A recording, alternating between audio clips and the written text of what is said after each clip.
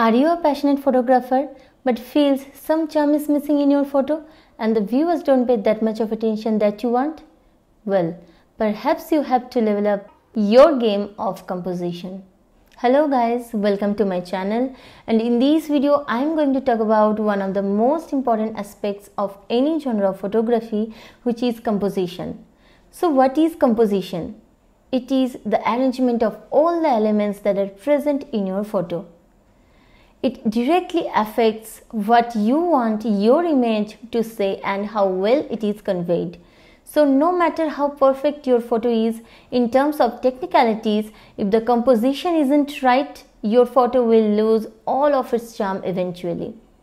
So, in this video, which is a part 1 of this topic, I am going to show you how to compose your image and what things you have to keep in mind before composing an image in 5 rules. So without any further ado, let's get started. Rule number 1 The Rule of Thirds. It is the most basic and well known rule of all. Rule of thirds are the magical lines that divide an image into nine equal parts using two horizontal lines and two vertical lines and we should always place the most important components which is our subject on any of the intersections of these lines. Here you can see a photo which I clicked at Mangalajodi wetlands of Odisha. Two egrets are fighting over territories and being our subjects, we place them on top left intersection point as per the rule. This makes the composition stronger than simply placing the subjects in the center. Here's another photo of ruddy dog resting peacefully on Tista riverbed. See how the riverbed is on the top horizontal line having a subject on another intersection. Now what if we shift our subject to this intersection point? Not so pleasing composition as previous one, right? For that we have our rule number 2. Leaving space in the correct direction. Now, what is the correct direction? The direction which your subject is looking or moving towards. And by giving space in that direction, you are giving your viewers more context. So, whenever taking photos of an animal or bird, try to leave space ahead of them. So, taking the previous example where the bird is looking to the left, it will be definitely a better composition if we leave enough space in the left rather than right. Here's another example of the beautiful Indian paradise flycatcher male heading diagonally in the frame. And we made this composition looks visually appealing by simply keeping space ahead of him. Rule number 3. Always watch your background. Several times when we get into the field and at the moment we spot our subject, we get so excited that we just pick our camera and start clicking. And in that process, we completely ignore our background, which can be just as important as the subject while composing the image. And if the background has any kind of distracting elements, it can greatly hamper the final image by drawing the viewer's attention away from the subject. It can be a stick, a branch, or any overexposed part or any kind of distracting element that divides attention. So pre-visualize and look for such background which must not compete with the subject before pressing the shutter. In this photo, we can see the restless beauty fantail is resting on a dried banana leaf. But tell me, what's the thing that caught your eye first? I bet it's not the fantail but the overexposed white spots. And these patches along with the black patches made this image looks completely messy and unusable. Now compare this photo with this photo. Better right? And all I had to do is to wait patiently for the bird to come and sit on a different perch against a better background. Now take example number 2. An adorable ferruginous flycatcher from the Himalayas is sitting against a beautiful background. But look at the right side.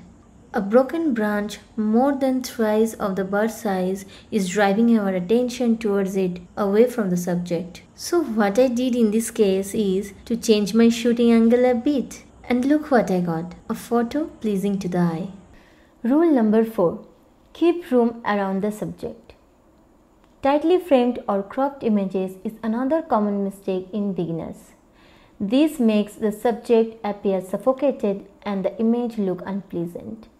So along with leaving space ahead of subject, as I told in the previous rule, keep a little space around the subject.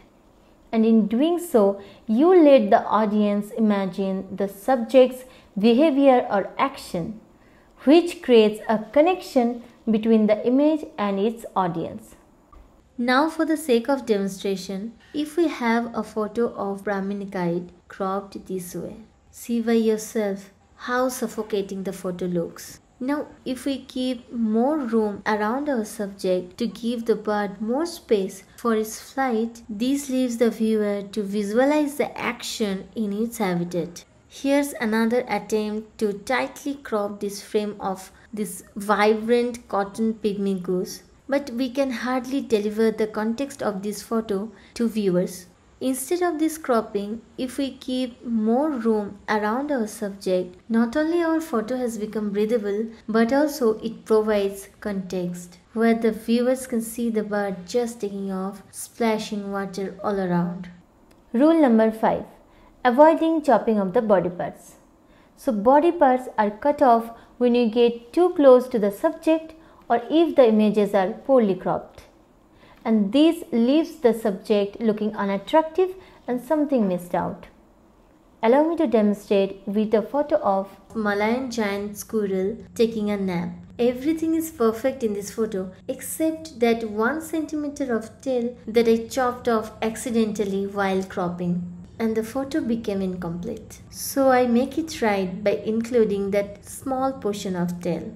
Here's again a photo of egret with its wings open and just like before the tiny amount of wing that had been chopped off made this image look not so graceful. So we have to make sure that we don't clip off any part of our subject either in camera composition or in post processing. Here's an important point. We often come across a situation where the subject is partially hidden behind the foliage, making the lower part of the body invisible.